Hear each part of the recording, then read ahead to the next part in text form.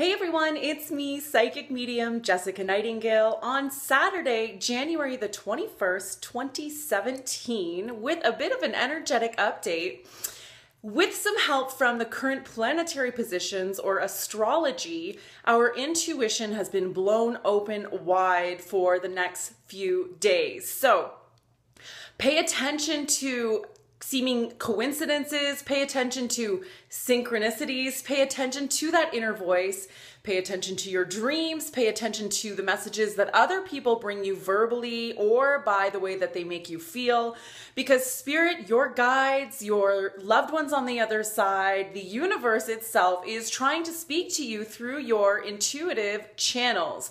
We all have them, they all work, so pay attention. A lot of the answers that you have been after for a long time are going to come together over the next few days, but in order to really consciously connect with them, you're going to have to really pay attention to the many signs and symbols that Spirit is sending you right now. And I'm not just talking about feathers floating around or whatever. I'm literally talking about, you know, paying attention to mostly your relationships with other people and seeming coincidences in terms of bumping into people or listening to what people say to you.